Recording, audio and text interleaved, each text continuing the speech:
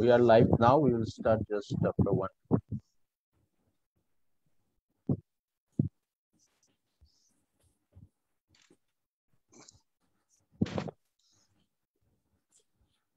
Assalamu alaikum. 私はジャシモディンと申します。田中先生、伊藤先生、日本の皆様に今日はよろしくお願いします。私は大阪大学で国際応急政策の博士号の博士号をあ取得しました。日本は私にとって第二のふるさとです。だから日本のことを大事にしてます。今でも心と心の絆がつながってます。よろしくお願いします。I say a few words in Japanese to welcome our Japanese friends. Today's keynote speaker, Professor Tanaka, the guest of honor, His Excellency Ambassador Ito, uh, the uh, High Commissioner from uh, Sri Lanka, His Excellency, the chair of the session, Professor Atikul Islam, the Vice Chancellor of North South University, distinguished guests, and our loving students from North South University. Assalamu alaikum and a very good morning.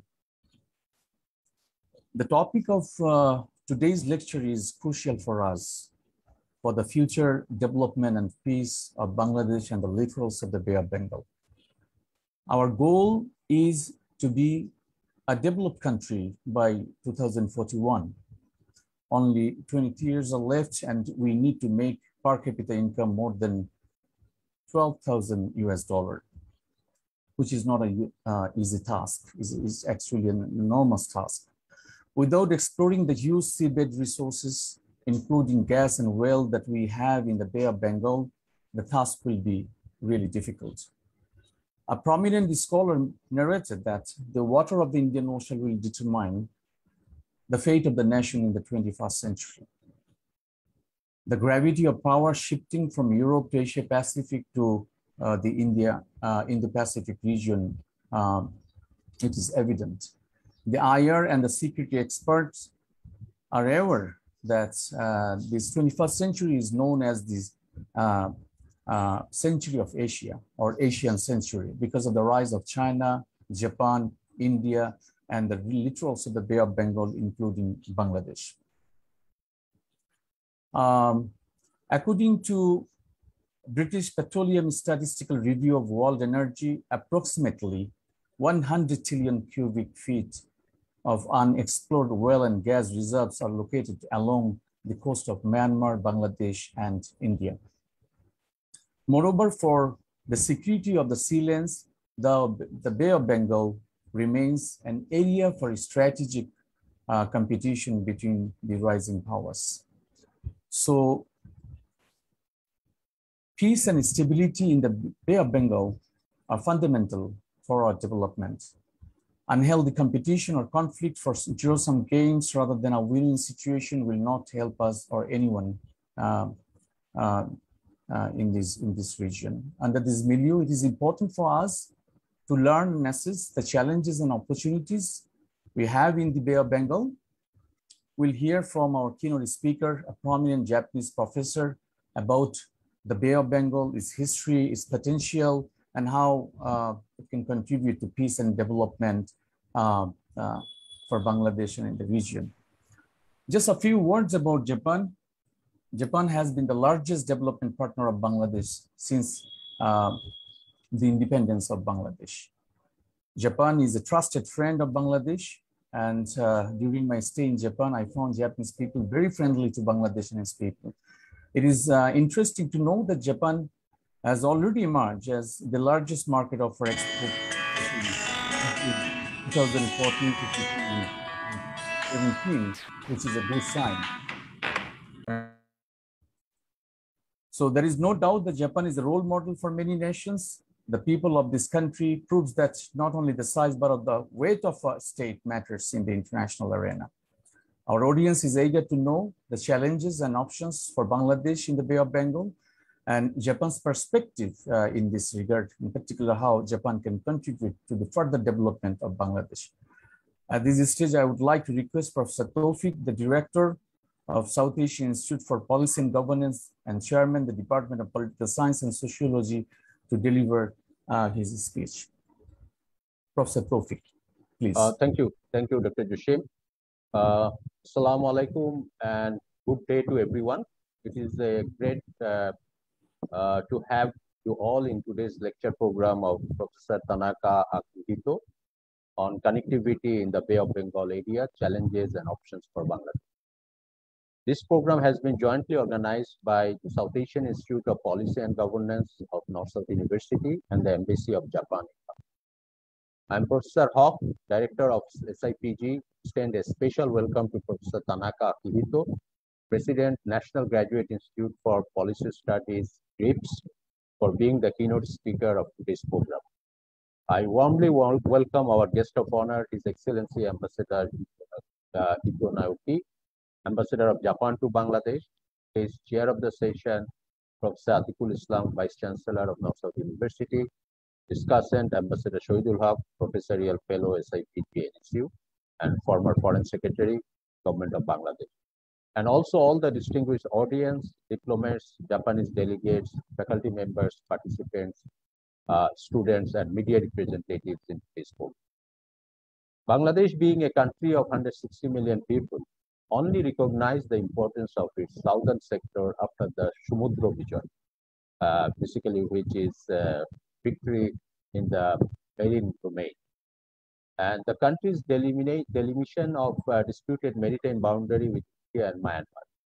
After the two verdicts of International Tribunal for the Law of the Sea and Permanent Court of Arbitration with Myanmar and India in March 2012 and July 2014 respectively, Bangladesh obtains its absolute maritime territory of uh, 1,18,813 square kilometers, 200 nautical miles of uh, exclusive economic zone, and an additional area of continental shelf uh, from the coast. We are so happy to see that uh, uh, uh, we have this, the architect of this whole maritime legal battle uh, Khurshid Alam is within us, and I hope that he will also be contributing uh, in this uh, uh, today's session. The Alam. Thank you for joining. The benefits of blue or marine economy can be seen in the form of a development paradigm in the terms of reducing poverty, increasing employment opportunities, increasing foreign exchange earnings, and developing relevant economic infrastructure. Exploration and exploitation of huge oceanic resources from the Bay of Bengal can bring prosperity for the country. The reemergence of the Bay of Bengal in regional strategic calculus has immense geopolitical consequences. Emerging geopolitical changes in the Bay of Bengal region are unleashing its economic and strategic potential. Under the current global economic power shift toward the Indo-Pacific Ocean region, this geographical advantage of Bangladesh to provide a unique opportunity for the country to play a node and half role in regional as well as the regional matters. Let me now talk a little bit about the South Asian Institute of Policy and Governance of North-South University. The SIPG of North-South University is the one and only and the pioneering institute with a regional focus in Bangladesh. SIPG is also doing research, holding dialogues, and working on various geopolitical issues with South Asia and beyond from academic and research points of view. In this connection, I'm happy to inform you that SIPG has earlier conducted various webinars, seminars, conferences, and certificate courses on various geopolitical issues. For example, we just had a uh, very interesting and timely webinar 25th of August uh, on remembering the Rohingya genocide of 2017, uh, waiting for justice. Uh, 9th of this month, we also had a interesting discussion uh, panel on current Afghan situation in Bangladesh. In last one year, we had other uh, kind of uh, webinars and seminars on Israel's atrocity against the Palestinians. Uh, another was military coup in Myanmar, impacts on the Rohingya crisis, and also like RCEP, the Regional Co Comprehensive Economic Partnership Challenges and Options for Bangladesh. So these are the kind of things we are regularly organizing and also SIPG is now conducting several certificate courses related with uh, geopolitics and uh, kind of a humanitarian assistance and other issues. Our first certificate course that we uh, completed within this year was humanitarianism, policy and diplomacy. And we are very we were very happy that uh, Ambassador Ito was one of our resource persons joining there. The second certificate course we are now running on Rohingya crisis. And the third one that coming in this year will be on peace, pandemic, development, and geopolitics, Asia. So we have some upcoming events that I just want to uh, share with you before I conclude my remarks. We have an international conference in next uh, uh, November 12 to 14 on preparing public leaders in South Asia for a post-pandemic world. And also we have planned for a uh, international two-day international conference on geopolitics and strategic shifts in South Asia in early 2020. So with that note and information, lastly, I thank you all again for joining and now hand over the program to the Bashim moderator. Thank you all.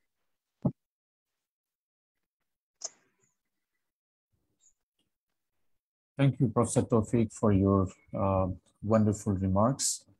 Uh, uh, before I uh, invite Professor Tanaka, uh, Rudmila, would you please share uh, uh, the Google form to get the feedback from the audience? I humbly request all the participants to fill the Google form shared in the chat box. there are a few questions. you can choose yes or no options. it don't take more than a couple of minutes. Uh, this is a humble request from the Embassy of Japan. So I humbly request all the participants uh, to click the link and just, uh, uh you know, uh, see the question and then submit it. Thank you very much. So now um, I would like to request Professor Akihiko Tanaka the president of the National Graduate Institute of Policy Studies, in short GRIPS, uh, uh, to deliver his speech. Before assuming the current position, he had been professor of international politics at the Institute for Advanced Studies on Asia, the University of Tokyo for many years. He served as president of uh, JICA from April 2012 to September 2015. Professor Tanaka was also executive vice president of the University of Tokyo from 2009 to 2011. He is chairman of the board, Japan for UNHCR, and a distinguished fellow at the JICA Research Institute. He obtained his bachelor's degree in international relations at the University of Tokyo in 1977 and PhD in political science at the Massachusetts Institute of Technology in 1981.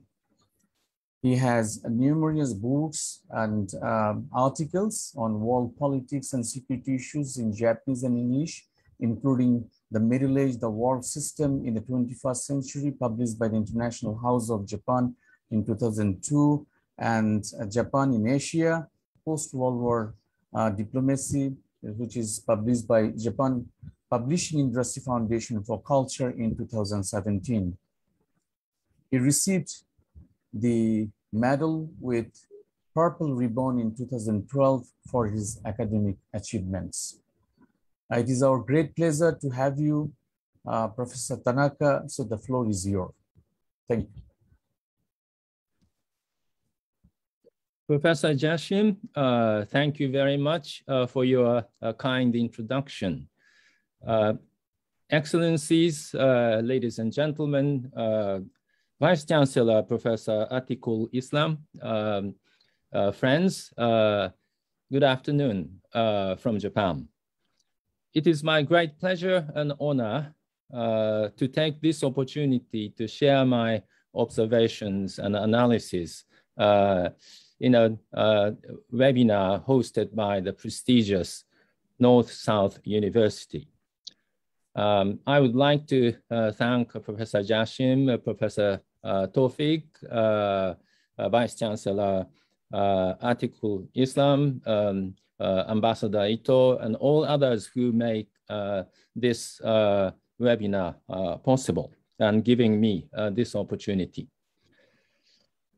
Although the title uh, is Connectivity in the Bay of Bengal Areas, Challenges and Options for Bangladesh, uh, but as uh, Professor Jashim's introduction uh, of myself indicates, I'm uh, uh, Uh, not an expert on uh, Bangladesh.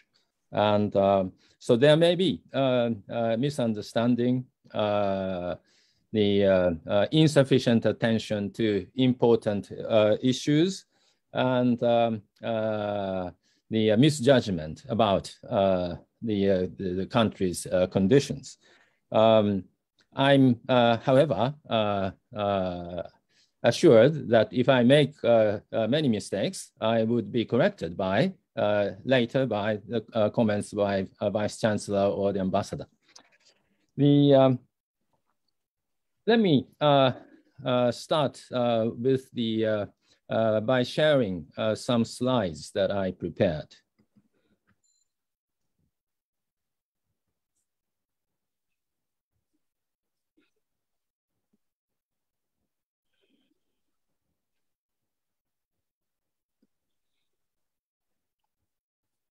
As I said, um, the um, the topic is uh, quite specific, uh, but as a as a as a sort of generalist of a generalist uh, in uh, measuring international uh, relations.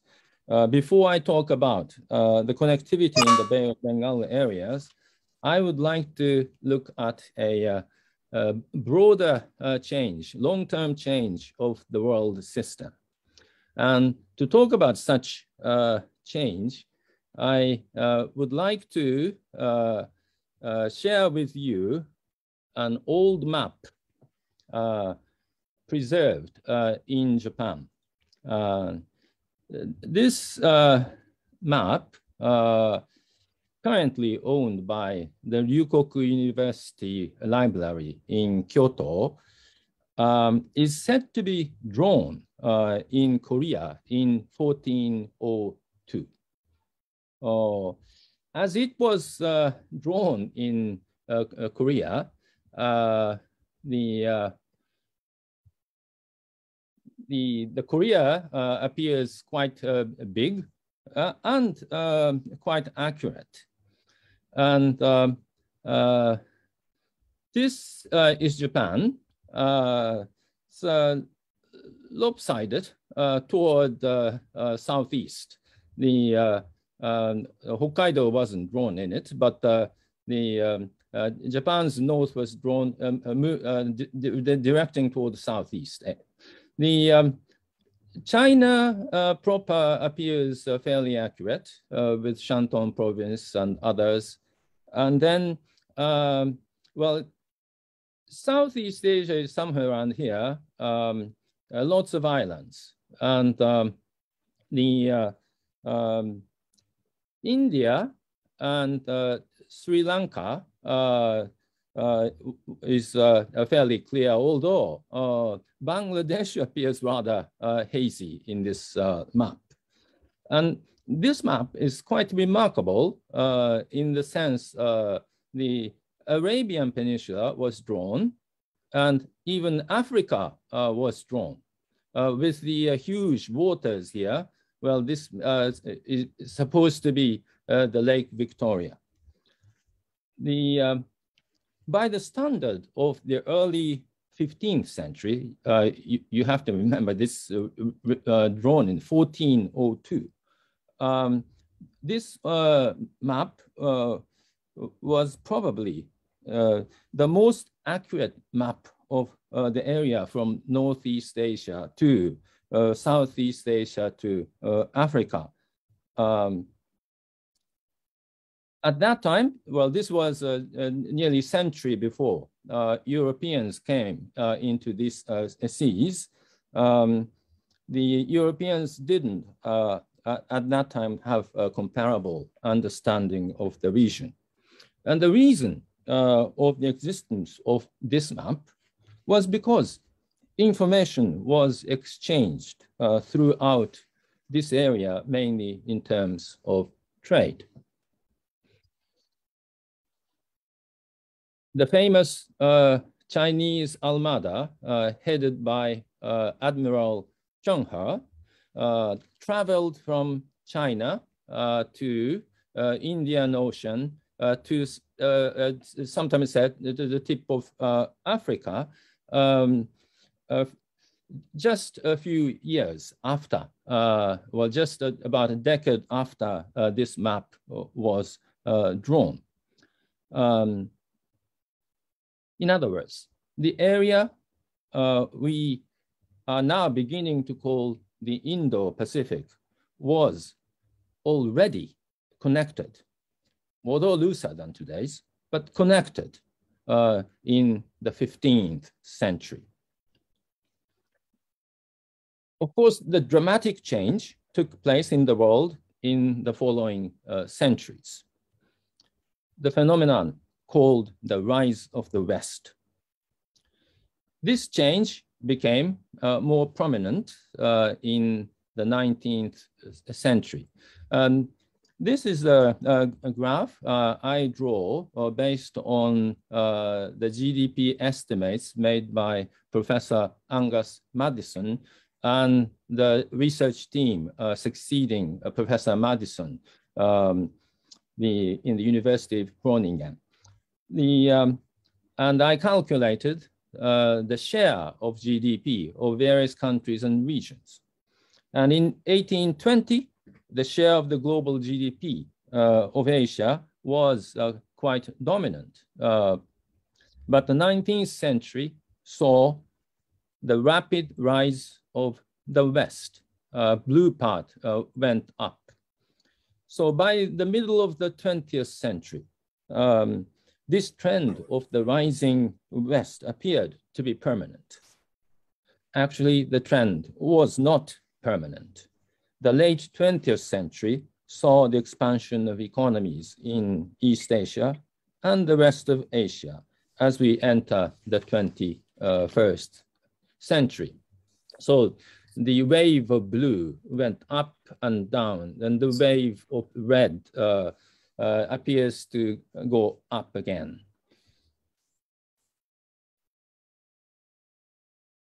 Looking at uh, different countries more uh, minutely, um, this is the change of the per capita GDP based on Maddison's uh, estimates uh, in East Asia. As you see, uh, Japan's per capita GDP uh, went uh, beyond 10,000 and 15,000 in the 1960s, but Japan was not alone to follow this pattern. Um, if you look at this, then the Japan was followed by uh, Hong Kong, Singapore, Taiwan, South Korea, Malaysia, Thailand. And um, now, uh, in, uh, as we enter the 21st century, China, Indonesia, Philippines, and the, the other Southeast Asian countries all um, made the trajectory of uh, going up in terms of per capita uh, GDP, although the absolute level still, uh, some of them below uh, 10,000 the um, um, not just Southeast Asia, uh, South uh, Asia also followed this trend. Um, well, this uh, uh, graph is drawn from the data estimates by Maddison Project, and the Bangladesh number appeared in this Maddison's figure appeared rather uh, undervalued. Um, if you uh, the um, uh, use IMF data recently published by the economic World Economic Outlook, uh, released last uh, April, the the the, the uh, um, current figure uh, the, uh, the, per capita GDP of Bangladesh in uh, 2020 was $1,098 and is expected to exceed 2,000 in 2021 and reach 3,000 in uh, 2025. Not uh, just South Asia alone. Uh, some African countries also registered high growth. The slide shows um, that some of the East African uh, countries are following the trajectory of Asia, especially in the 21st century. In other words, we are now observing the rise of the Indo-Pacific for the second time in world history. Since the rise of the West in the 19th century, the center of gravity of the world economy shifted first to the North Atlantic and then shifted to the Asia Pacific in the late uh, 20th century, and now shifting to somewhere in the broad Indo-Pacific in the 21st century. Japan, as a trading nation, has always followed this shifting uh, center of economic uh, gravity. In the 1970s and 80s, the concepts of Pacific Basin and the Asia Pacific were on the rise, as shown by uh, former Prime Minister uh, Masayoshi Ohira. Japan took initiative uh, to launch what is called the Asia Pacific Economic Cooperation Meeting, APEC, in 1989. As we uh, enter the 21st century, Japan began to pay more attention to South Asia. Prime Minister Abe uh, made a speech in the Indian parliament in 2007, uh, emphasizing that today is the time of the confluence of the two seas, uh, that is the Indian Ocean and the Pacific Ocean. And in uh, 2016, uh, Prime Minister Abe officially revealed Japan's vision of a free and open Indo-Pacific in Nairobi on the occasion of uh, the International Conference for African Development uh, called TICAD. Well, in this connection, I would like to uh, point out the significance of the Prime Minister Hasina's visit to Japan and Prime Minister Shinzo Abe's visit to Bangladesh in 2014. Through these mutual visits, the two countries agreed to launch the Bay of Bengal Industrial Growth Belt Initiative, Big B. Actually, in between these uh, uh, two uh, prime ministers' visits, I had the opportunity to visit Bangladesh as JICA's then uh, president. And um, I was uh, uh, given an opportunity to deliver a speech at uh, University of Dhaka. And uh, in that uh, speech, I uh, made a similar analysis that I just made and said, now in the first quarter of the 20th first century, um, the world economy is shifting its center from the Pacific to a much broader area, which I call the Indo-Pacific region. I used the word, uh, the Indo-Pacific, um, in other words, two years ahead of our prime minister. Uh, although um, when I, I, I conducted um, an interview with Prime Minister Abe after he retired the, uh, last summer uh, for um, um, um a journal on diplomacy in Japan, and I asked uh, when uh, you uh, uh conceived of the idea of the uh, Indo-Pacific. Uh, he said uh, uh, he uh, began to realize the importance of the what is later to be called the Indo-Pacific even before he became prime minister for the first time in 2006. So I think it may be a, a bit uh, uh, presumptuous for me to claim a priority of the using the Indo-Pacific concept in Japan. Um, so I think uh, there was a general uh, tendency uh, to consider the importance of the big area from Northeast Asia to Southeast Asia, South Asia, and the, the Eastern Africa. But uh, the regional concept of the Indo-Pacific, uh, when I talked about it in 2014, uh, was not uh, particularly familiar to many people. But uh, since Japan expressed its vision of a free and open Indo-Pacific, um, since that time, increasing number of countries are beginning to use it uh, in their conceptions of their regional policy and uh, strategy.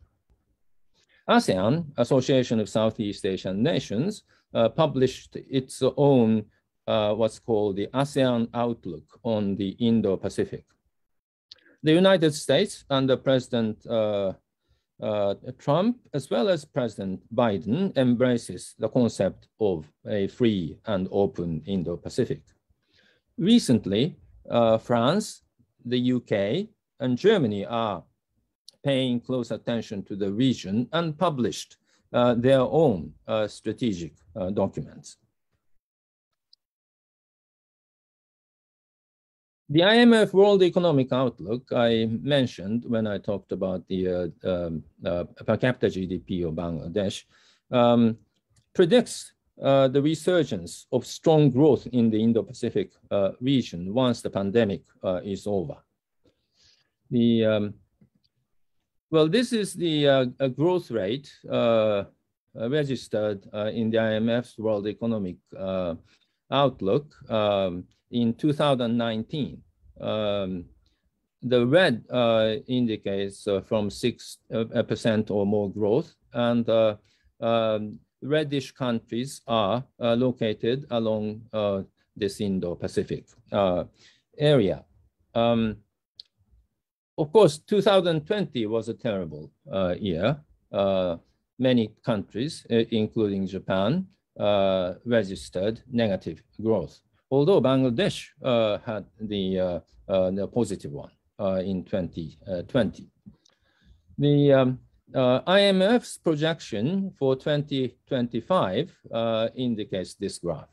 Um, mostly uh, a positive growth uh, taking uh, uh, uh supposed to taking uh, take place in the Indo-Pacific um, region, with the expectation that Bangladesh and India Vietnam, and some sub-Saharan African countries will make more than 6% growth.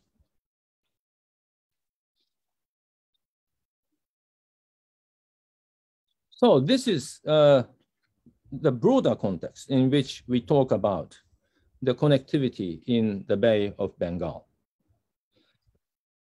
In the speech that I uh, made at the University of Dhaka in 2014, uh, I said, the Bay of Bengal is certainly centrally located within this tectonic change as it can function as a key junction between the two oceans.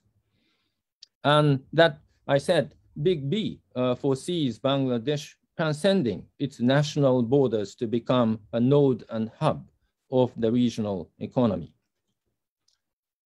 As I said in uh, uh, 2014, the significance of constructing a long uh, awaited deep seaport at Matarbari couldn't be emphasized more.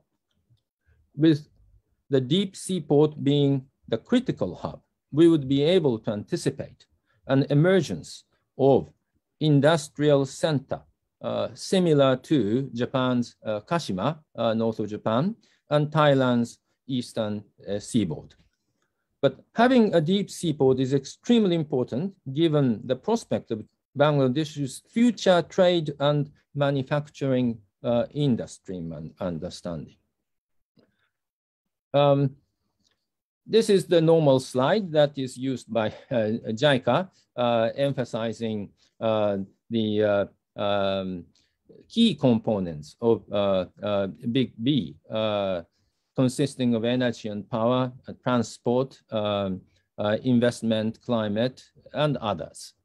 And uh, the this area could be um, the really the uh, northern hub uh, to connect the uh, inland Bangladesh, going through Bangladesh, both to India and Nepal and Bhutan, and to the wider area uh, through the Bay of Bengal. The, um, I would like to uh, look at uh, the significance of um, the development of this region uh, from the investigation of uh, the trading pattern of uh, Bangladesh. the, well, this is the uh, um, uh, export of uh, um, Bangladesh from 1990 to 2020. And I combine all EU countries into a single line. And from this figure, it is apparent um, that um, the, uh, the European Union and the United States dominates the Bangladesh's uh, uh, um, export destinations. And all others uh, appeared rather uh, difficult to see because uh, absolute level is so different. Um, but if you exclude the EU and US, then you will see a um, clearer picture about uh, Bangladesh's relations with uh, um, ASEAN, India, Japan, uh, and Sub-Saharan Africa. And this is the figure. Um, this is the, the graph excluding EU and US. Now you can see uh, the importance of four destinations. India, Japan, ASEAN, and uh, China. And uh, uh, this graph indicates recently uh, China is surpassed by uh, ASEAN as an export uh, destination. The Sub-Saharan Africa remains very small in comparison with others, but you can see a, a upward a trend. The now, if you look at imports, uh, three economies uh, stand uh, out, uh, China and India. And um, because there are too many lines, I, again, would like to exclude uh, EU and US uh, to see the pattern more clearly. Um, well, this, again, indicates that uh, three import sources are very important for Bangladesh. Um, China, uh, ASEAN, and India. And uh, in terms of absolute uh, value, uh, China is bigger uh, than either India or ASEAN. Um, but um, the, as you see, um, even though smaller than China, as import sources, uh, India and ASEAN are, quite uh, um, important. If you combine ASEAN and India, that would be bigger than uh, China as a source of importation. From these trading pattern of Bangladesh, we can conclude that export markets of EU and US are very, very important for the future of uh, Bangladesh. Uh, but India, Japan, ASEAN, and China are also very uh, important. Um, well, importance of India appears obvious as uh, uh it is uh, your neighbor. But ASEAN's importance, well, Myanmar is your neighbor, but ASEAN's importance um, should be, I think, recognized more. If you, of course, if you divide ASEAN into 10 countries, uh, each uh, is smaller uh, in comparison with China, uh, India, or Japan. Um, but combined, ASEAN is a formidable export destination and source of imports. ASEAN's uh, total population uh, is uh, 667 million, um, roughly half the size of China. Um, but as you see, uh, the levels of uh, uh, uh, export destination or sources of import destination, ASEAN is in a way comparable to both China and uh, India. Uh, so for long distance trade with EU and US, an increasing importance of ASEAN, in addition to India, China, and Japan. And to make these pattern uh, more effective and smooth, I believe the construction of a deep seaport is really critical. Given the recent uh, good economic performance of Bangladesh, the future appears uh, quite bright. But there may be uh, many conditions of future prosperity of Bangladesh and more broadly uh, of the prosperity of the Indo-Pacific. I think the most important one is the preservation of peace. If you look at the rise of East Asia in the late 20th uh, century to 21st century, the remarkable fact is that in East Asia, there have been no interstate wars since the Sino-Vietnamese War uh, of 1979. This is remarkable in comparison with other regions of the world, such as the Middle East. This is also remarkable in comparison with the East Asia of the past. Until the end of the 1970s, the East Asia was the war zone of the world. Immediately after the Second World War, um, we had huge scale Chinese civil war Korean War, Indochina War, Vietnam War, uh, and so forth. East Asia uh, developed rapidly uh, as it became a zone of no wars. The Indo-Pacific, as a much broader region, may have more challenges as there are still unstable and fragile countries uh, in uh, the region. If you look at the current conditions of Myanmar, and current conditions of Afghanistan, you cannot become so optimistic. And East Asia, part of the Indo-Pacific, has its own uncertainties. The biggest uncertainty facing the Indo-Pacific, I think, is the implications of the growing power and assertiveness of China. The growing Chinese power increases concerns among many countries, uh, but particularly in recent years among liberal democracies. As long as China uh, is weak, the authoritarian nature of the Chinese Communist Party rule does not pose much concerns in liberal democracies.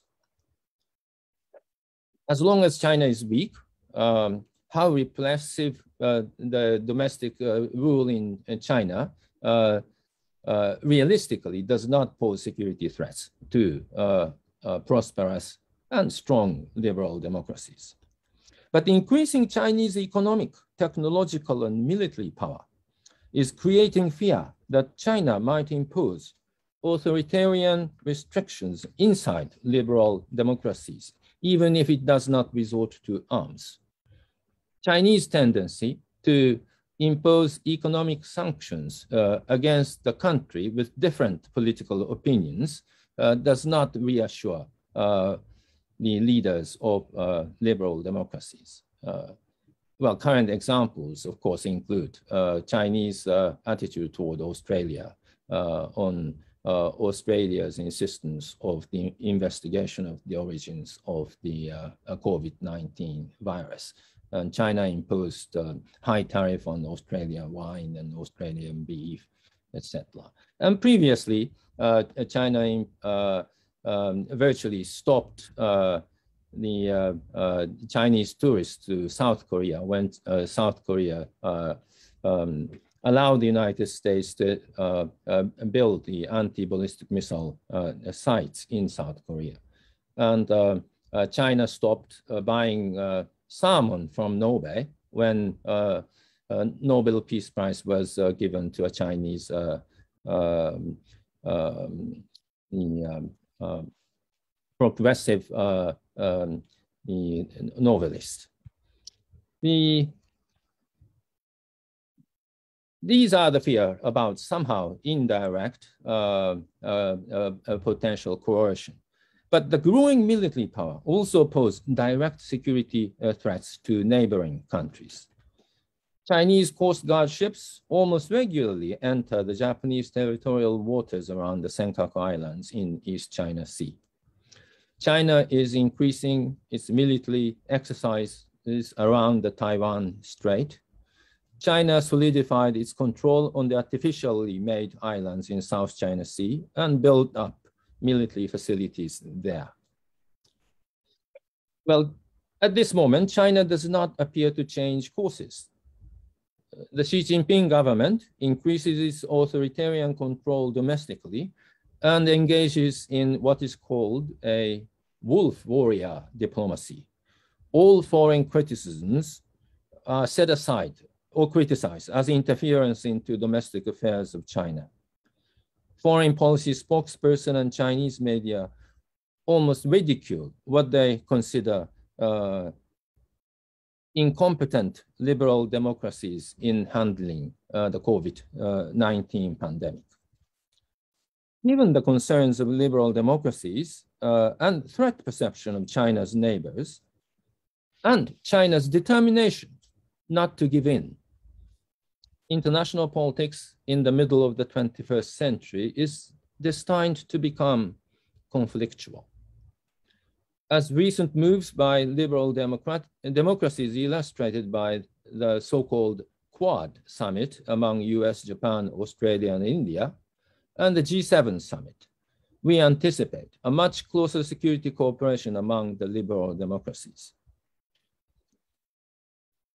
So uh, structurally, the current competition between China and liberal democracies appears quite similar to the Cold War between the Soviet Union and the West. However, there is a critical difference with the previous Cold War. That is deep economic interdependence. Um, the trading pattern of the world economy changed very much in the 21st century. Um, well, this uh, map uh, indicates uh, which countries are the biggest uh, trading partner uh, for each country. Uh, and this indicates the condition in the year 2000. And um, the blue indicates uh, that this country's uh, biggest trading partner is the United States. So Canada's biggest trade, uh, uh, uh biggest trading partner was the United States. so are Mexico and many Latin American countries. And the um, um, green indicates Germany was the, the, the, biggest trading company. And then um, Southeast Asia, Australia, Saudi Arabia, Iran, uh, and China, uh, the biggest trading partner uh, in 2000 uh, was Japan. Um, there are the only a few countries with which China has the biggest trading volume. the actually although the smaller countries was not depicted in 2000, uh, seven countries uh, in uh, the, China was the biggest uh, trading country. Well, the, there are uh, in 2000 uh, 52 countries where the United States was the biggest countries, including Japan and Bangladesh. Japan was the top trading partners with fair number of Asian uh, countries, including China and some Southeast Asian countries. That was the condition in 2000. This uh, pattern dramatically changed uh, over the next uh, uh, 15 years. 2015 uh, condition is shown in this map. there are many, many countries with red. Um, the in this year, 2015, China became the top trading partner with 50 economies, including Bangladesh, Japan, and the United States. Uh, the United States was the top trading partner with 37 uh, countries. Well, this is the uh, um, picture uh, of last year. Uh, not much change, um, but uh, actually under the COVID-19 pandemic, more countries uh, traded with China. China became the top trading partner with as many as 62 countries and economies. Number for the US was 35. So this uh, indicates the importance of China and uh, um, dependence on uh, China for trade for many, many uh, countries. But the important fact of geopolitics today is that the US uh, and China are biggest trading partner each other. For US, China is the biggest trading partner. For China, the US uh, is the biggest trading partner.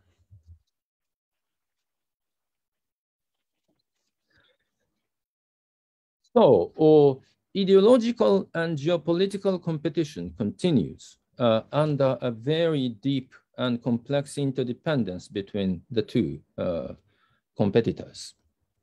What should be done? I think uh, there are no easy uh, answers. But first, I think there should be no misunderstanding of the intentions of uh, the competitors. So far, China has become rather cautious in front of strong power. So I think it is good that liberal democracies appears quite united after the arrival of the Biden administration in the United States. Liberal democracies should create a framework of cooperation among themselves against which China is not able to coerce other countries without resorting to arms. Second, there should be effective means of communication between China and the rest of the world. Establishment and maintenance of emergency communication mechanism is uh, important. Japan and China has started such a mechanism over East uh, China Sea, uh, although um, the um, uh, effectiveness uh, is still uh, to be proven. Third, all countries should explore, I think, areas of cooperation uh, along with competition. Responses to the climate change is an obvious one.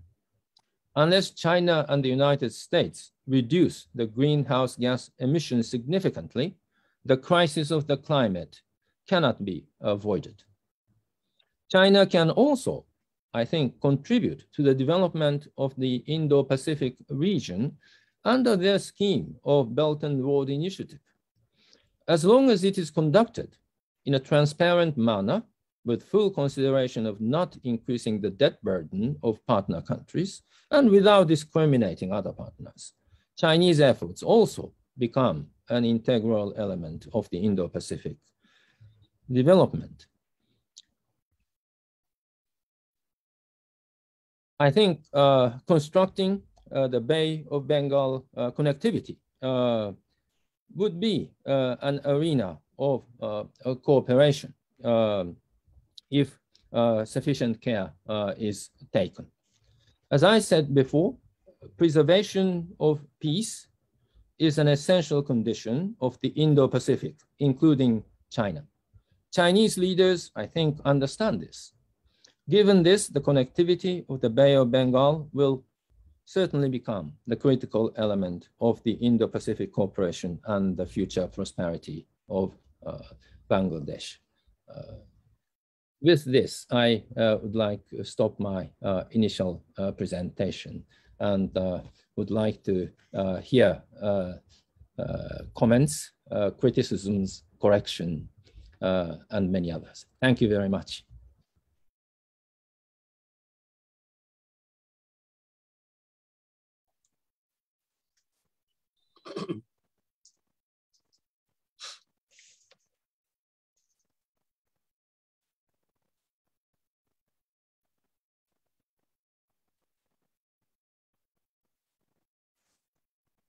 Tawfiq Bhai. Dr. Jashim, are you there? The moderator? You, thank you very much. Uh, thank you very much, Professor Tanaka, for your very comprehensive uh, lecture. Uh, it's a great learning for us. Um, especially, we learn a lot about our uh, uh, bay, I mean, the Bay of Bengal. And uh, especially the, the strategy of Big B uh, you presented Uh, we have a lot of interest in that, and we believe that this strategy will help uh, Bangladesh to promote its exports and ultimately will contribute to the development of Bangladesh. Thank you very much. Uh, I believe the audience um, uh, got a lot of interest uh, in your lecture and uh, they have a lot of comments and uh, questions.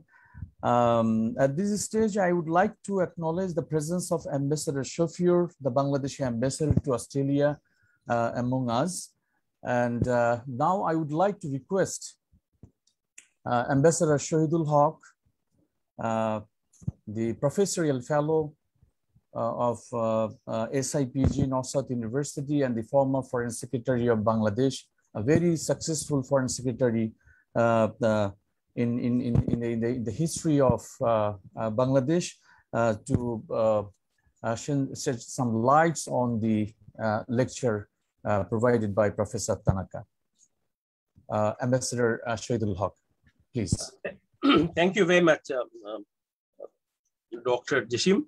Uh, uh, indeed, a very uh, enlightening reflections, both past, present, and future, by Professor Tanaka on the geopolitics, but more on geoeconomics of, of Bay of Bengal. Uh, I, I, will take a couple of minutes to reflect, and I'll tell you. I'll tell you why. Uh, he was referring to the period uh, beginning with 2014 uh, uh, till today with the Big B and Bangladesh, where uh, as heading the Foreign Office as Foreign Secretary, we were deeply engaged, and I will try and get some of the reflections. So I, I will. I'll start off with a with a uh, with the statement which uh, uh, Professor Tanaka has given an indication that Bay of Bengal historically has been very important, even before Atlantic became important to Europe and the world politics. But uh, with the uh, departure of the colonies and uh, the nationalist governments which took over around the little states of Bay of Bengal and Indian Ocean, were more inward looking. Uh, and then whole importance of uh, the, the sea area uh, slided.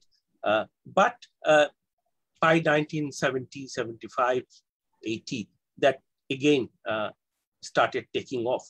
Initially with the, with, the, with the geoeconomics, but now it's more geopolitics. So I will look at more geopolitics as Professor Tanaka has focused more on the uh, on, on the geoeconomics, although he has touched on the politics as well.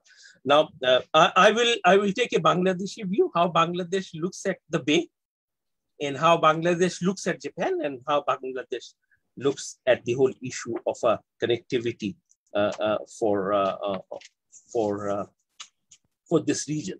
Now, Bay of Bengal is a very unique in terms of geography. It is a triangular uh, basin, largest basin.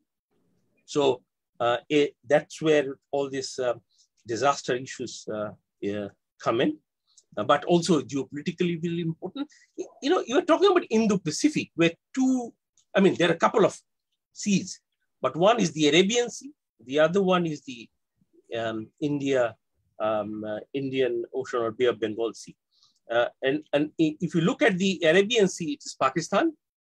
And if you look at um, the Bay of Bengal uh, or Indian Ocean Sea, then you see India, Myanmar, and, uh, uh and, and Bangladesh. So that's, that's the geopolitical uh, sort of a frame that I would be taking in. And, and surprisingly, both are in a kind of a, going through a very fluid state centering around Afghanistan and Central Asia in Arabian Sea, and in our part is Myanmar, uh, with huge potential to blow up uh, in, in, in future.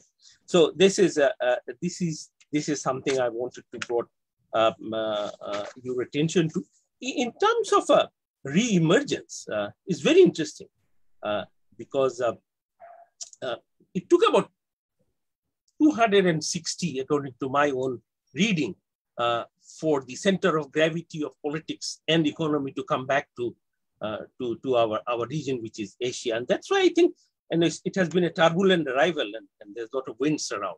Uh, and that uh, that uh, Professor Tanaka has on and off indicated, sometimes um, directly, sometimes indirectly. and I'll come back to that whole issue of India, China, and the rest of it.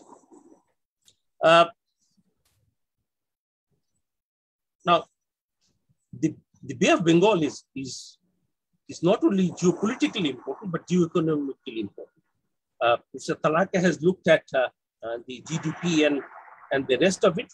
Let me also sort of uh, remind all of us that this is a very important passage for all the goods, oil, and now services passes through. Almost around 60% of whatever trading takes place is, is, is through, uh, through this region. Uh, so that's that we have to keep that in mind. It's not only the little states uh, GDP, but also things passes through the adjacent water. In order to get the geopolitical feel of it, I'll, I thought I would share with you two important uh, uh, incident. Uh, I, I, still call it incident. In 15th of December 1971, USS Enterprise arrived in the Bay of Bengal to rescue the, uh, the Pakistani forces. That's what they said. Uh, and, uh, and that's an important event because the whole Seventh Fleet was about to arrive in the Bay of Bengal and change the actually the map and geopolitics which we see today. But interestingly, on 16th December, Bangladesh was liberated by the joint forces of India and Bangladesh.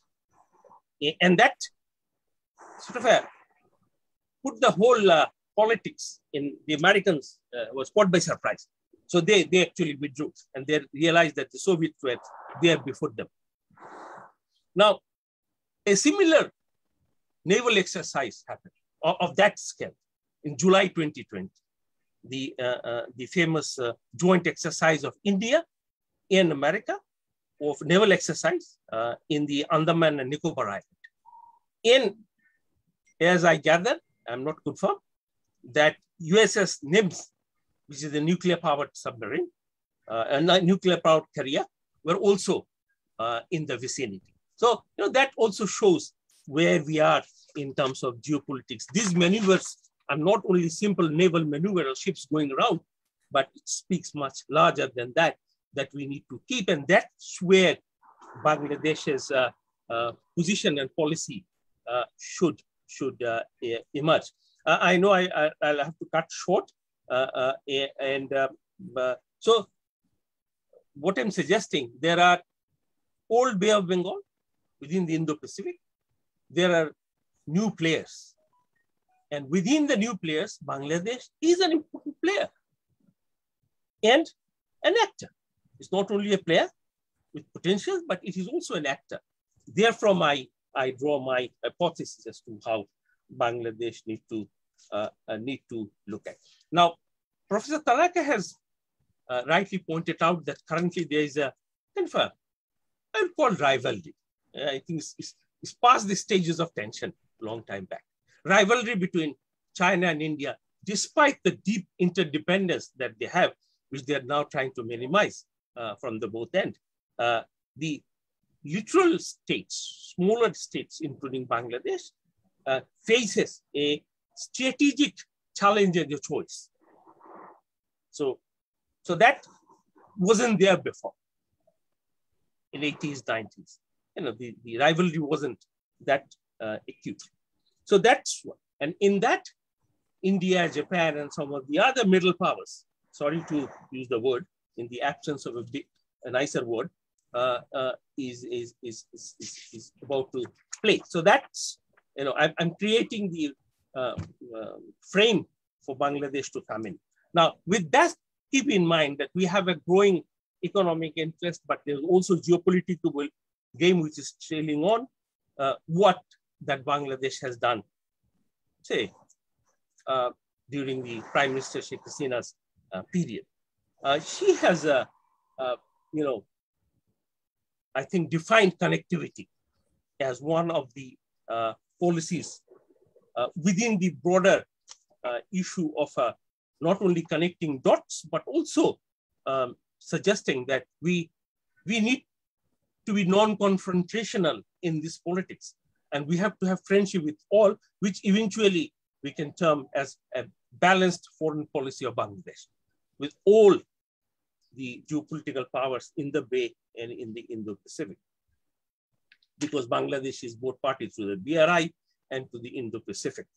Uh, now, she has also defined connectivity, uh, Professor Tanaka, in a much bigger way, not only in terms of rail, road, and nearlink, but also in terms of ideologies, in terms of knowledge sharing, in terms of technologies, and in terms of culture.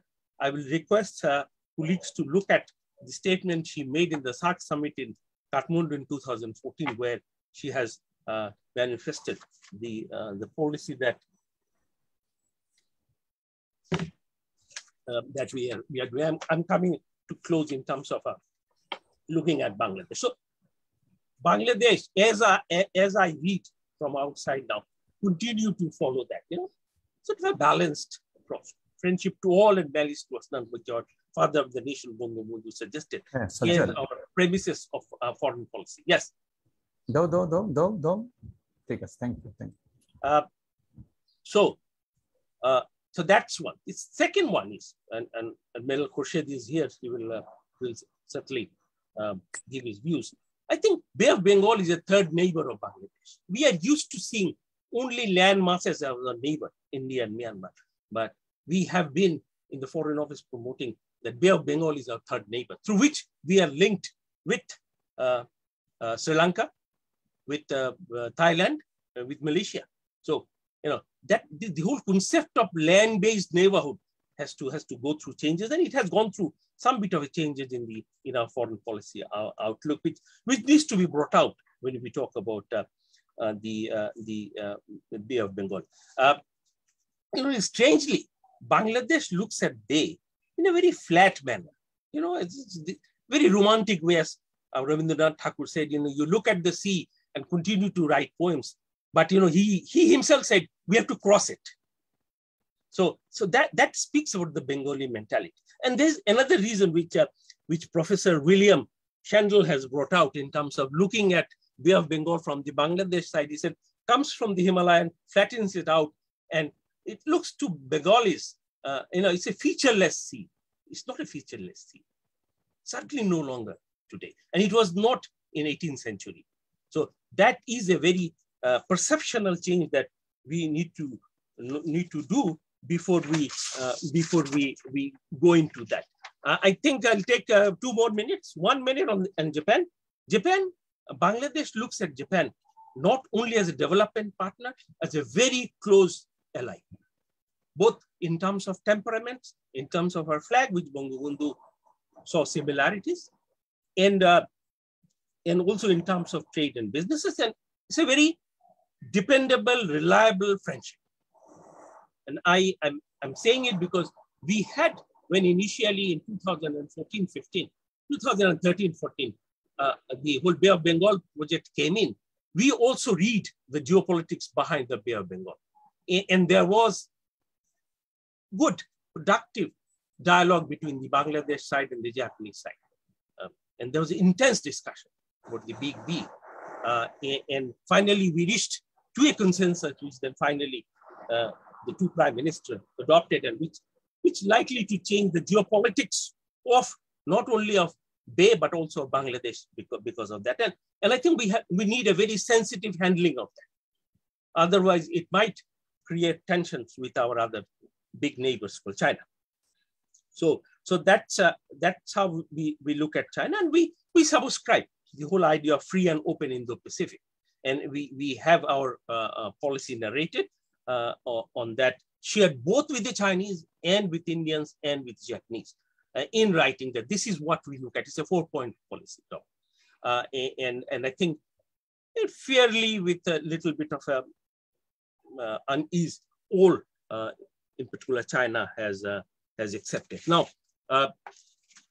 way forward, you know, it's true that Asia is rising and that will not be warmly welcomed by non-Asians. Let me, let me just face it. Let me tell you this. You know, it's not easy to rise in the midst of all. It's not 18th, 16th, or 19th century rise, when it was easy to defeat China and India, uh, it, it will not be the same. So, so that's one that we need to keep it in. And in that Bangladesh, whatever small it may sounds itself, uh, is a player which needs to play his card very close to his chest and very wisely. So that uh, uh, uh, that's where I will now. The the last one, the post the, the way we read it from from Bangladesh side, the post America world and Asia would not be uh, not not belong to a one particular big power.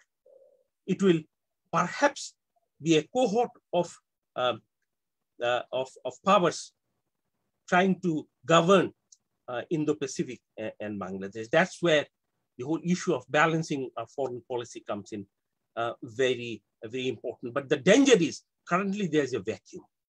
And vacuum has been exaggerated by the unsettling events in, um, in, uh, in, um, in Central Asia and Afghanistan. I'm stretching it to Central Asia and see how it's going to have an impact on South Asia because Afghanistan sits both on West Asia, Central Asia, and South Asia in between. So it has an influence both ideologically, historically, and economically on the three sub-regions which, uh, which features uh, very prominently in the Indo-Pacific uh, strategy. So the vacuum uh, is important, but it also be seen how Bangladesh continue to use its strategic and economic advantages to its own interest.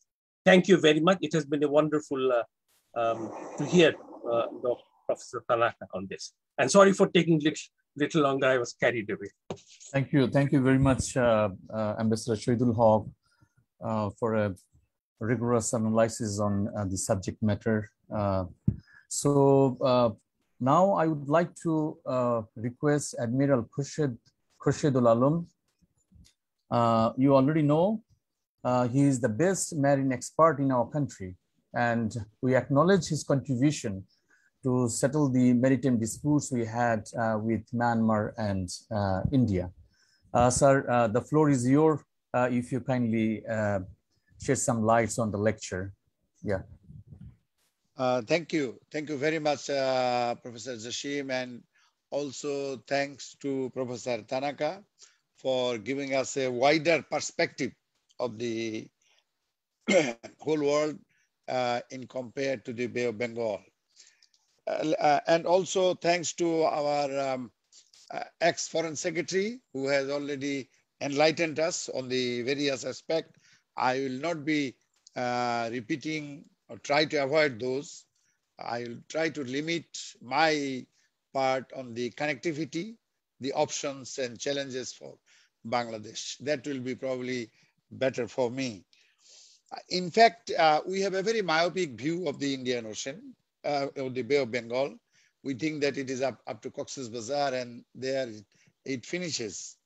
But uh, it goes below Sri Lanka and this is the busiest you know, international waterways in the whole world. Around 40,000 ships almost passes through this water. It was uh, half of world energy trade and everything goes through there. And that's why even in 14,000 maps, it was, uh, this area was the heart of the global history. Now it has become the heart of international uh, politics uh, in a way. But uh, as we call it a third neighbor, why we call it a third neighbor? Because if we want to go to Myanmar, you need a passport. You want to go to India, you need a passport and visa. But if you want to go to Bengal and beyond, Atlantic, Pacific, and also the uh, Indian Ocean, you don't need a passport and visa. What you need is ship and skilled manpower. And there we lack, you know, that is what is our uh, uh, problem. And of course, uh, overall, if you can see the connectivity is at sea is port-led connectivity. You need ports. And Professor Tanaka has very rightly said that Matarbari is going to be one of the deep sea port. We have other two ports, but they are not actually, you cannot call them deep sea port, smaller area. But why uh, we need the ports? First of all, for the maritime connectivity. because like we have a trade of 90 billion dollar. Uh, say two year, one and a half year back, we had 90 billion dollar. Last year was not that uh, that good one. So in 90 billion dollar, this trade is carried by about four and a half thousand ships coming from other countries. And we pay almost $9 billion as a freight to these ships because Bangladesh has hardly 60 ships to carry our own goods. Although UNCTAD rules allows us to carry 50% or at least 40% of our own goods by our own ships, but that doesn't happen because we do not have the capability to carry those uh, ships. So we have to pay to the foreign uh, shippers to come. And also, if we have a deep sea port, much bigger ship will be able to come and then we may be able to pay less. Exploitation of marine resources, as you rightly pointed out, we have got almost 118,000 square kilometer of sea, whereas uh, in Bangladesh, uh, if you totally add up all the rivers, our bower and everything, it is around 15,000 square kilometer. But then we are called Nodimatrik Bangladesh. But we could have been a Samudramatrik Bangladesh. In that case, our eyes would have been uh, focused on the on the western side. Even I take um, the vice chancellor is here. I draw his attention that universities like North South doesn't teach anything, or there is no research faculty uh, which relates to the uh, Bay of Bengal, which will help Bangladesh in the in the, in the, in the coming years. You know, um, other than the trade and commerce, of course, um, we have a lot of um, infrastructure we have already created in the country. Like there is a maritime university now. There are oceanographic department. There is also Bangladesh Oceanographic Research Center in Cox's Bazar. And uh, we have changed the maritime zone law of 1974. And there is also a blue economy cell. And there is uh, also blue economy action plan we have uh, uh had already there, you know. But there are challenges in the Bay of Bengal. You know, first of the challenges what we faced is the smuggling, that is the drug smuggling. Drugs are coming in good numbers through Bangladesh. Then we have piracy in the um, Strait of Malacca. It has not yet gone. Then pollution, either by ship or from land or from atmosphere. These are increasing in the Bay of Bengal. Our Studies have shown the plastics are found even in the seas even in the fish. And also you have uh, this uh, problem of trash fish, you know, a lot of smaller fish, we throw them out at sea. That is also going, around. And most importantly is the maritime domain awareness we really do not have. Neither we have any capability to find out what type of ships are in the, in the, in the area. And say people from uh, Dinajpur they would hardly would like to jump into the sea and maybe better than, uh, you know, much better, much lesser than the Borishal people who wouldn't fear the sea as well. So there are organizations here in the within the Bay of Bengal, like you can say BIMSTEC, Indian Ocean Rim Association, SAARC, and the uh, ASEAN. All these countries, of course, they can closely develop the capacity we are lacking right at the moment because we must understand the sea is not a zero sum game. The Indian Ocean cannot belong to India. Even though they might say it is Indian Ocean, but it is not a zero sum game because the India cannot preclude other ships to come into the Indian Ocean, just like any other uh, sea areas. So that's one of the important factor. So what we can say is this, if we look back the maritime connectivity in this part of the world started long before because we did not depend on the steam. We depended on the monsoon. Because of the monsoon weather, if you can see in the sixth and seventh century also, there were trade with Arabs in the Indian Ocean, in India and also other countries. And because of the monsoon, we took the advantage of the monsoon. Whereas the Europe had to wait for this steamship to become, and then they come. You know, they then they started coming in this part here. So from that sort of backwater, Bay of Bengal has now in a very strategic space, uh, looking for uh, you know a bigger role to play. But of course, what we understand from Professor Tanaka's role we are very much with it that rule-based, you know, uh, uh, order out at sea, whether it is under Indo-Pacific or it is under UNCLOS, uh, whatever you may call it, the rule-based maritime order is a must. Until and unless we maintain peace and the rule-based order out at sea, is, is going to be very difficult for any one of us to probably grow in the same rate as they are growing today. The, the economic figures, whatever have been shown by Professor Tanaka, I don't know whether uh, they were shown as a sort of um, uh, you know hint to Bangladesh. Look, this is what would be your condition. Uh, you know, if you don't do this or don't do that. So let me also only say this: that we have come through all these years, 50 years of our age. We are matured enough. We know how to carry out the trade, whether it is in the west or it is in the west, east, and that's probably will continue. But we are on this particular aspect, we do appreciate whether it is a BRI or uh, it is Indo-Pacific strategy, whatever strategy you call it, so long it brings peace out in the sea lanes of our communication, our trade remains open and we can probably do things as you like it. Uh, that should be the our focus and uh, our logistical arrangement should must increase so that the port-led development, whatever we have now, and also more connectivity among the countries in the Bay of Bengal. We have only one connectivity with India right now as a coastal shipping, but we need to connect all other countries in the region because in that case, our shipping cost will reduce and we would be able to send our goods uh, in, in a way uh, very, very easily to other countries. So whatever, you know, the development we have been able to do, we have not achieved much on the blue economy as far as exploration of marine resources are concerned.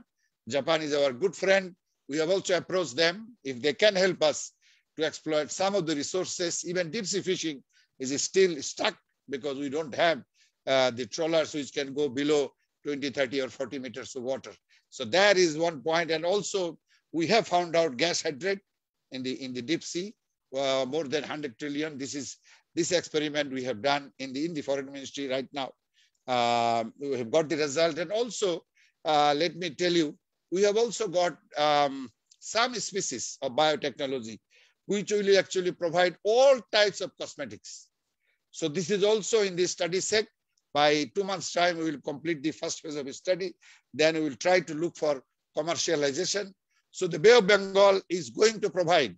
I can tell you that yes, uh, the, the garments industry is of course the only industry we have, but as an alternative to the garments industry, we can also provide from the sea from uh, more or less half of the amount uh, within few years if we can have a probably uh, the, a package which will help us to go to the deeper part of the ocean and exploit the marine resources uh, and and whether it is uh, you know um, uh, a joint venture or uh, in fact with the help of Bangladeshi companies. I think I will stop here because I have another thing, another you know webinar is going on. Thank you very much for inviting me. But my submission will remain to the Vice Chancellor that uh, the North-South University should open some department which will carry out some sort of uh, you know, also research on the oceanic material, which will help Bangladesh to become a developed country in 2041. In three years of study, we have got two. And if we can continue this, many other issues will come up. And then Bangladesh can be proud of the ocean area we got. Thank you very much uh, to you. Thank you, Dr. Jashim, and also Professor, and to all other dignitaries for listening me. Thank you. Thank you, sir. Thank you very much uh, for giving us uh, some of your valuable time. And we are again enlightened and you rightly pointed out and identified some of the potential areas uh, where our trusted friend Japan with their technological advancement, with their skill and knowledge uh, can help us. And as I mentioned uh, at the very beginning that uh, to become a developed country, that is our goal. our Prime Minister our leaders uh, time to time remind the nation that uh, we want to be a developed country by uh, 2041. And actually, we must explore uh, the resources we have uh, in the Bay of Bengal. And of course, we lack, uh, you know, technological expertise and knowledge, and Japan can definitely help us in this regard. So we have already got some interesting comments and questions and uh, uh, in the in the chat box. Um, I would like to raise one question, and, and then I will uh, invite Professor Mustafiz from CPD to share his views. But before that, Professor Emdad of uh, North University raised a question to Professor Tanaka. Uh, the emergence of powerful China in the 21st century is a reality. How best the regional countries can adjust uh, with this ground reality. Uh, Professor Tanaka, uh, if you kindly address this question. Well, thank you very much. Um, uh, this is the, uh, uh, um, at least one of the most important questions uh, for the regional countries in toward the middle of 21st uh, uh, century. Um, the um,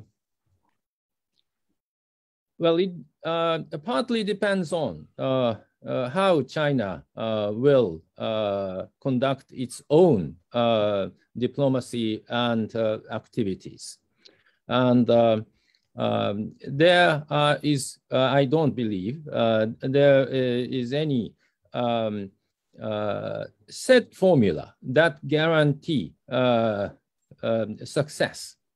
The um, um, the uh, because um, the um, we don't know uh, the um, um, rising China uh, uh, will take what course in the future, and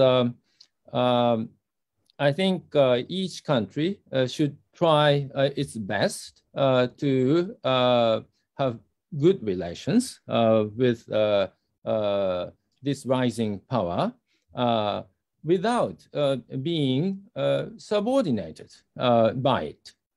And how to do that, I think would require wise diplomacy um, as well as, uh, as strengthening uh, its uh, own uh, capability. Um, the um, also uh, um, geographical proximity uh, with China may um, give you different responses.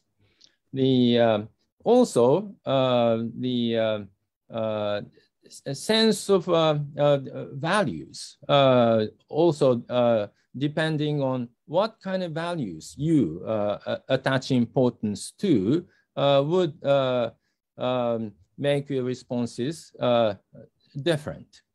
Um, because each country is a sovereign state and, and uh, each uh, uh, is, is uh, entitled to have its own uh, view.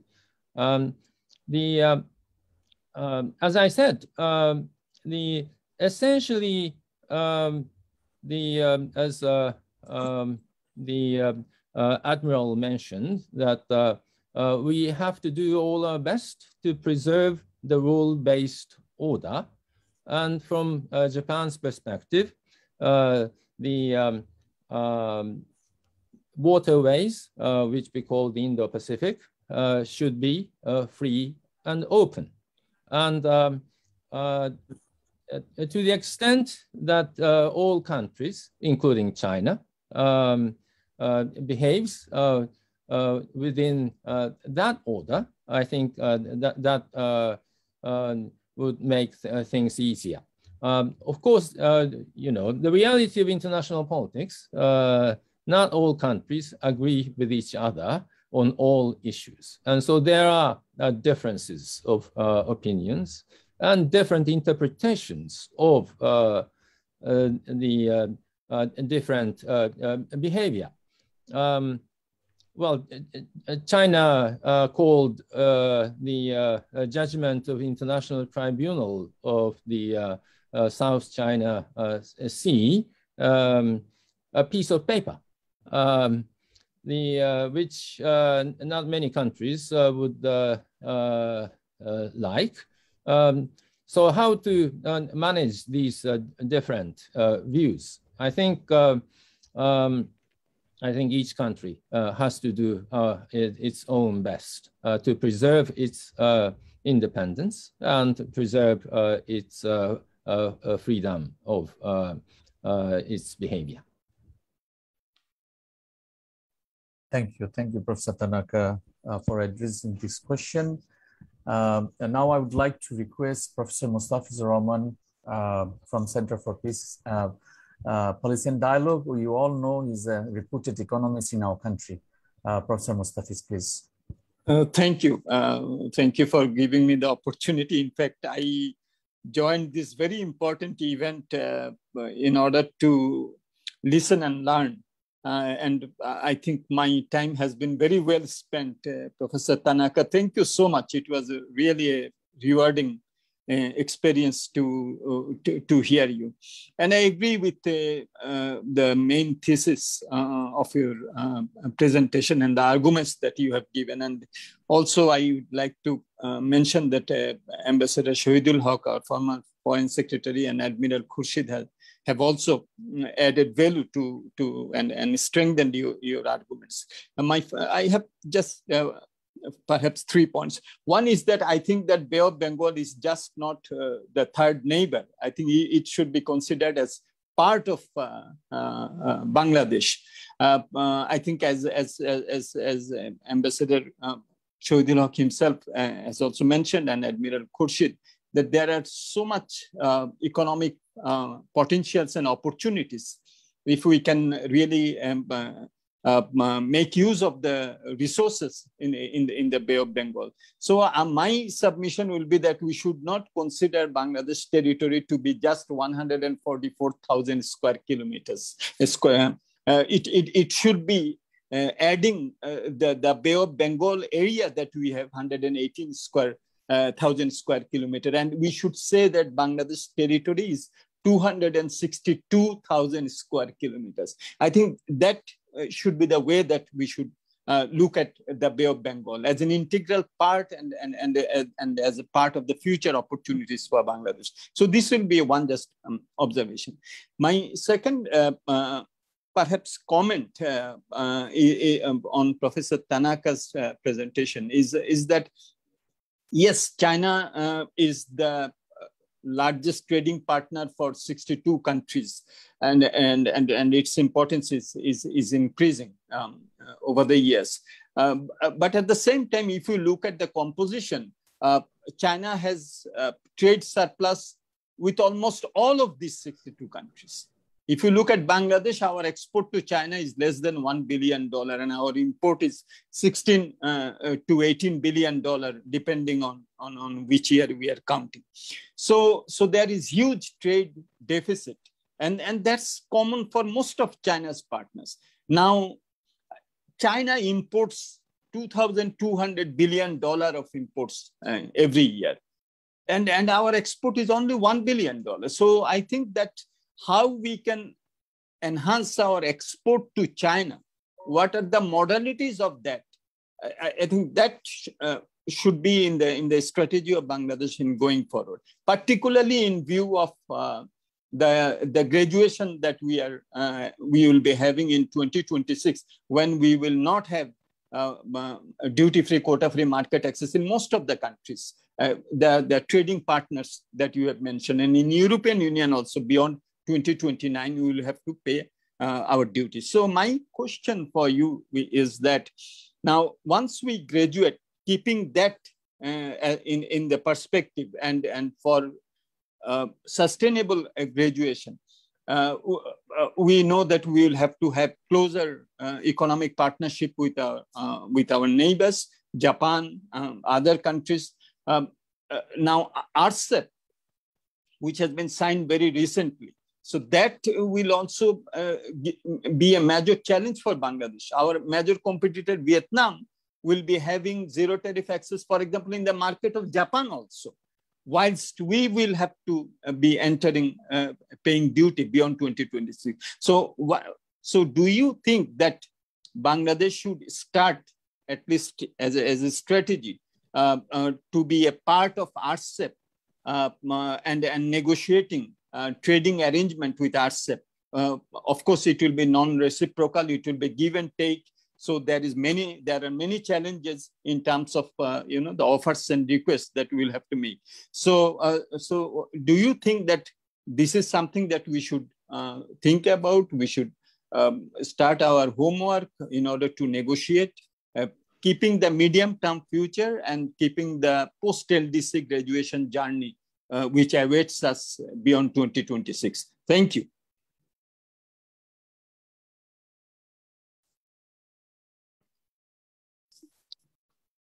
Can I uh, make response? Yeah, please, uh, Professor Tanaka, to kindly response to his query. Thank you very much, uh, uh Professor Mustafa, uh, for uh, great questions. In my understanding, Bangladesh Uh, is a rising trading uh, power and rising manufacturing uh, country. And um, the uh, after graduation uh, of uh, the LDC status, I think it would be wise to devise a strategy of trading and manufacturing country. Um, the uh, that means uh, the uh, try to maximize the capability and explore export markets which are open to your products. And um, the, I think um, the, well, I showed the, the, the top traders list in, in the map but uh, I also have a, a map of uh, top export destinations and uh, uh top import uh, source. And I didn't show them, but uh, as Professor Mustafa mentioned, China, uh, the, the reason China is the uh, top trader with uh, as many as 62 countries is because China is actually the largest source of importation for uh, more than 62 countries. And uh, uh, China as an export destination is not so dominant. the um, I, in my calculation, China is the um, um, the um, uh, the largest uh, top export destination uh, with 39 countries, not 60, more than 60. And, um, and even there, uh, as uh, uh, Professor Mustafa mentioned, many countries um, have a trade deficit with China. And um, so I think uh, uh, in the case of Bangladesh, uh, the largest export destination is EU and the US and, and many countries in Southeast Asia and India. And so I think uh, the, the, the, strategy the country should uh, devise is uh, to uh, create uh, the uh, open and better conditions in potentially promising export markets. And one way, I think, is to join such international framework as RCEP. Um, the uh, Vietnam, uh, being a member of ASEAN, uh, is a member of RCEP, but Vietnam decided to join a uh, more uh, sort of uh, high quality trading scheme called TPP.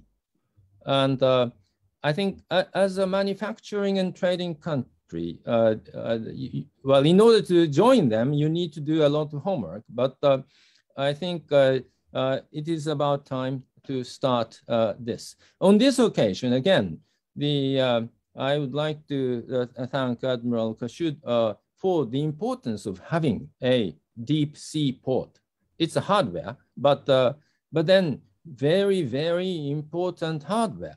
Uh, without deep sea port, you cannot uh, um, uh, transport huge quantity of trading goods at a reasonable price. And so um, I, well, anticipating the completion of the Matarbari deep uh, seaport in 2025, uh, then I think uh, along with that, it would be, I think, uh, quite wise for the uh, uh, for Bangladesh to devise a future trade strategy, particularly with respect to joining certain economic partnership agreements. Thank you. Thank you. Thank you, Professor Tanaka, uh, for uh, your very comprehensive uh, response. I would like to request uh, uh, Dr. Mohammad Shahidul Alam uh, to, I mean, just give his comments or question just in two or three minutes. we actually, we have limited time. Yeah, please. Thank you. Dr. Shahidul Alam from North South University. Thank you. Thank you, Dr. Jashim, uh, for giving me the floor.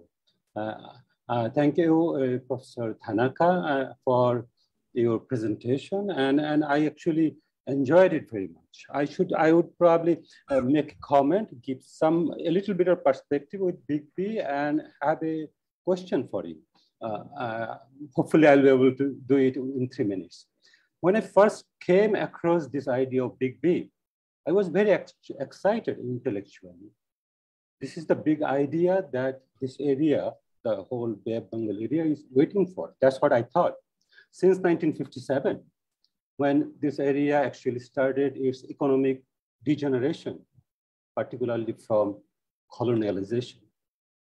So going forward, connecting the Bay of, Bay of Bengal area, we foresee a economic resurgence, right?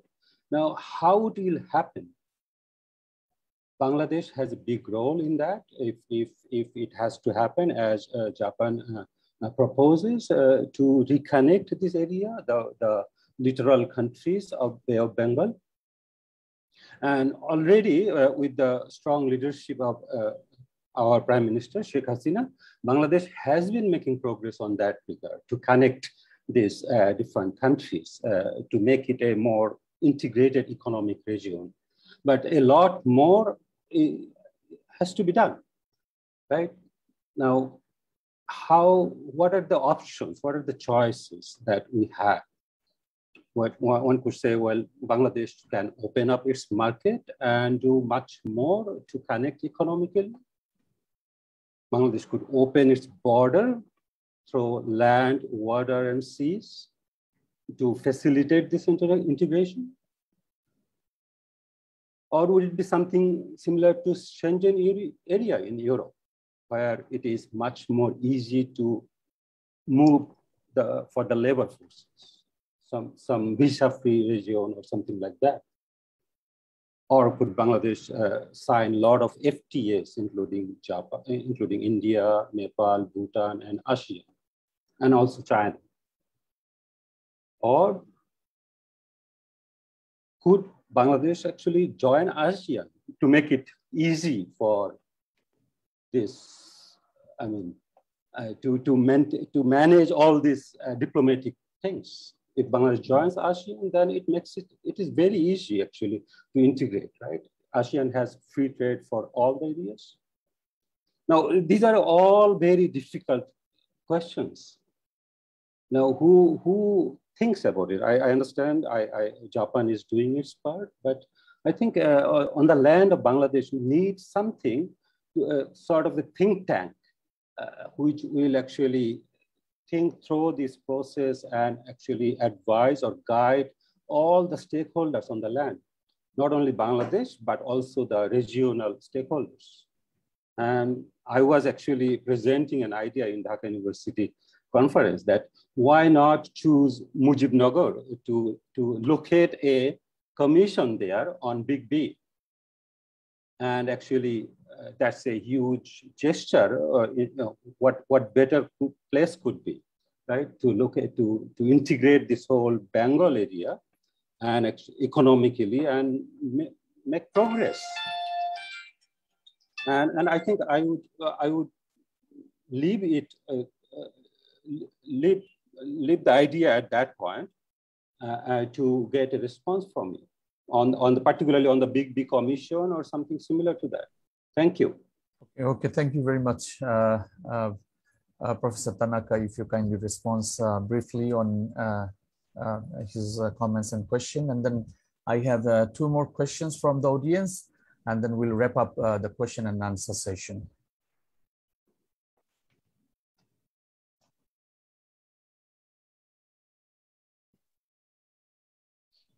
Well, I think uh, if I might respond to the uh, question about the uh, further options for the development of Bangladesh, um, the uh, in addition to uh, the consideration of um, joining such trading scheme like RCEP, um, the um, um, I think uh, another pillar, of course, as a manufacturing uh, country, uh, uh I think it would be important to uh, make environment very friendly uh, to attract investment. And um, I think one challenge for Bangladesh at this moment is to upgrade the um, um, uh, manufacturing. Ring. The, um, um, the um, apparel textiles are quite uh, good, competitive, um, but I think uh, uh, one would consider the current period as uh, uh, a, a, great opportunity to, for Bangladesh to invite investment in uh, somewhat uh, higher value added uh, manufacturing. Um, you know, um, the um, I think one factor, aside from the uh, uh, geopolitical competition between uh, the China and the United States, well, out of that, there are tendencies to shift uh, the production capability out of China uh, uh, from the geopolitical considerations. Then um, the um, investment uh, that may be leaving uh, from China uh, should go somewhere. And I believe Bangladesh is in a, a quite strategically advantageous position to attract uh, some of the manufacturing that are leaving China. And um, well, here you need to compete with such countries like Vietnam. Um, the, the, but I think uh, uh, the it, it is another uh, component uh, that um, uh, the e economic and the trade strategists in Bangladesh had, have to consider. Thank you. Thank you, Sensei.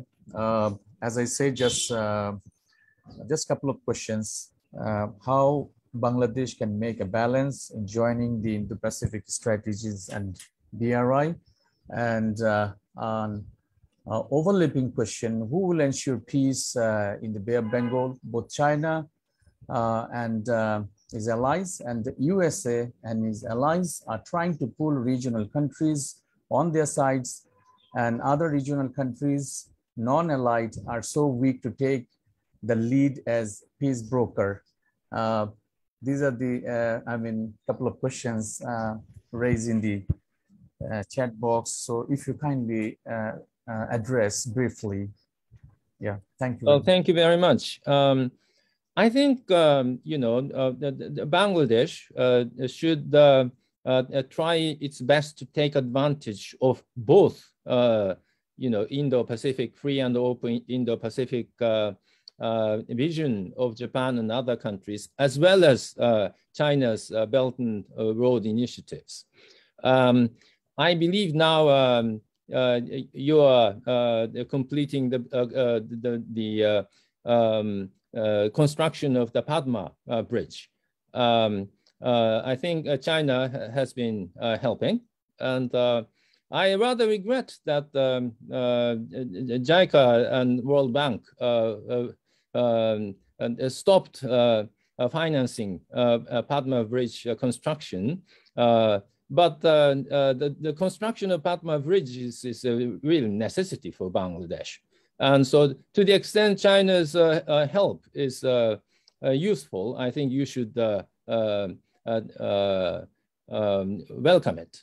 And um, the only thing uh, that uh, you, uh, I think recipient country Uh, or, or, being uh, financed uh, have to be careful is that you would not be uh, drawn into a debt trap. And uh, so uh, try to make the debt sustainability sound. I think you can utilize offers from anybody, including China or um, Japan or the United States. Um, about peace preservation, I don't believe there is any single power that can uh, preserve uh, peace. I think um, uh, peace is preserved uh, by, uh, well, in a rather classical uh, realist view, preserved by the balance. And peace is preserved if no single power believes that it cannot take advantage the situation to advance its interest by military means. And so if all parties believe that it's uh, uh, too costly uh, to resort to arms, then I think the peace can be preserved. And also, I think if all parties believed that uh, preserving the current uh, state of economic interdependence uh, is in their own benefit, then I think uh, a peace is going to be preserved. And so I think uh, uh one of the important things is uh, uh, having uh, a stable military balance on the one hand, as well as the prospect of mutual prosperity in the region. that are the conditions of peace. Thank you. Thank you very much, uh, Professor Tanaka. Uh, it's a really very uh, fascinating uh, session, your uh, lecture and the question and answer session. Uh, now I would like to request Ambassador Naoki Ito to kindly provide his remarks. thank you very much, Dr. Jashimuddin, for moderating this very, very engaging discussions uh, between Professor Tanaka and those participants from North-South University and other uh, institutions. I really would like to extend my sincere gratitude to North-South University, uh, especially SIPG, for organizing and hosting uh, this uh, lecture. And I would like to thank those who joined us uh, Uh, through uh, this uh, live broadcast session of today's uh, lecture. And my special thanks, of course, go to President and Professor Tanaka for having agreed to speak before the learned audience. And the purpose of holding a lecture is to provide Japan's perspective on issues of mutual uh, interest. I'm sure that the participants learned a lot uh, through the lecture by and interaction with uh, President Tanaka uh, today.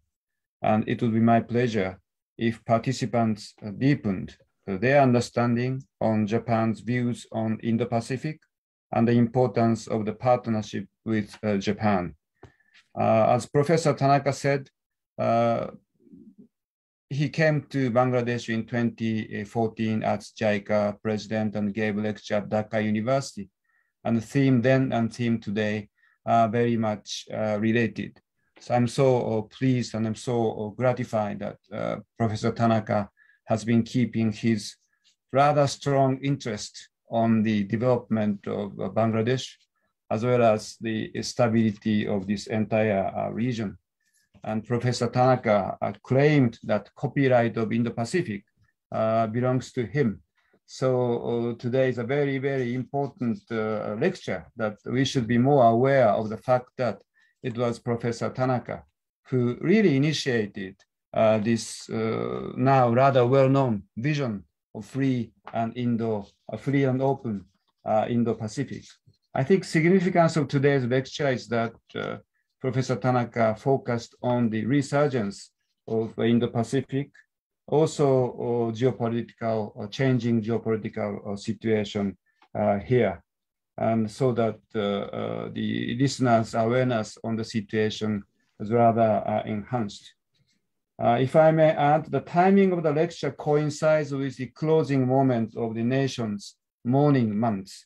So the father of the nation, Sheikh Mujibur Rahman, and his family were brutally killed on the 15th of August 1975.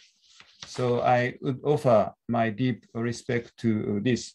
And I would like to say that two years before the, that, Bangabandhu visited Japan in October 1973.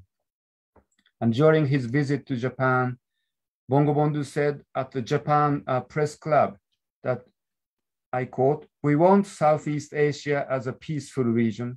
We have declared that the Indian Ocean region must be a free and peaceful region. We want peace only for the development of these regions, end quote. So almost 50 years ago, Bangabandhu talked about the importance of freedom and peace in Indian Ocean, not in the Pacific, but Indian Ocean. But of course, the international environment at that time was uh, different. But nevertheless, I think it is important uh, to be reminded that Bangabandhu uh, is emphasized the importance of the openness and peace, uh, free freedom and peace of the, the, oceanic part of this region. And I would say that his line of thought has uh, some relevance under the current uh, changing geopolitical environment. And I would say it is rather at least interesting that Japan is now really trying to promote free and open Indo-Pacific uh, vision after 50 years of Bangabandhu's remark. And of course, this vision is to pursue peace, stability, and prosperity in the Indo-Pacific. Uh, many people talked about the Matarbari deep seaport. Yes, Matarbari deep seaport is very, very important, uh, not only for the development of Bangladesh, but for the enhancement of connectivity, as well as uh, stability or stable development of the entire region and Matarbari is now uh, being developed for coal-fired power uh, station as well as the first uh, stage of deep sea port by 2025, as Professor mentioned. Then uh, they are going to expand the port uh, to install LNG terminal, LPG terminal, so that Matarbari will become energy hub uh, by, I would say, uh, 2030 or 2031. And beyond that, the next decade, uh, they will develop Matarbari so that the handling capacity of cargo in Matarbari will exceed that of uh, Chittagong. Then Matarbari will be uh, functioning in a full-fledged manner so that Matarbari will become energy hub, industrial hub, and all sort of uh, connectivity will be coming out of uh, Matarbari. Professor Tanaka mentioned the importance of seeking the possible cooperation in Bay of Bengal with uh, China. Uh, sometimes I looked at the news report, uh, which talks about the fast track projects of Bangladesh, 10 projects, 12 projects. So, and uh, now I, I would say that Japan and China are vying with each other in terms of the number of mega uh, projects, which are very, very important for Bangladesh.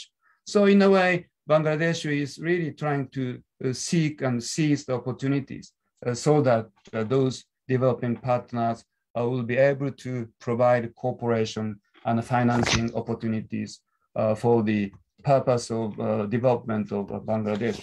So I do really hope that Japan will continue to be play an important role for the development of Matarbari, uh, development of various projects on uh, Big B uh, initiatives.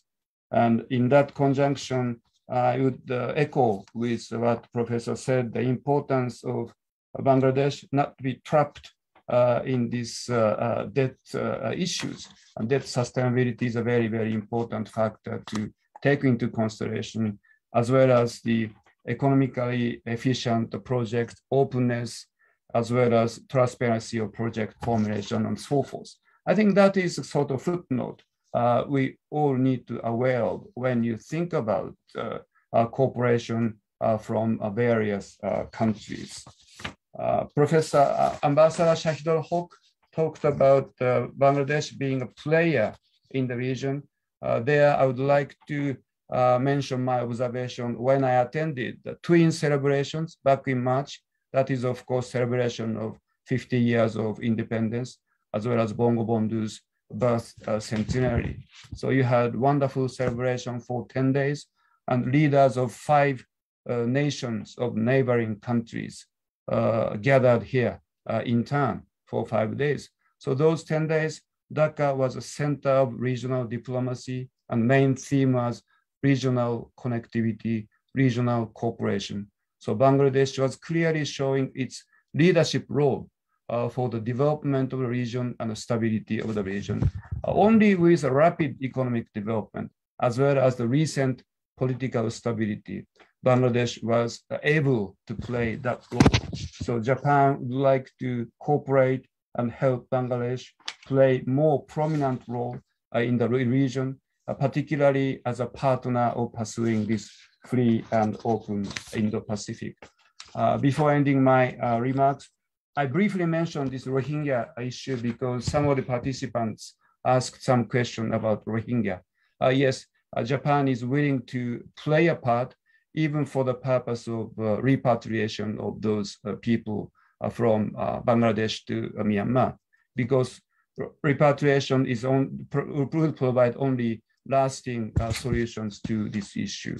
And finding lasting solutions is very important for the long-term stability of the region.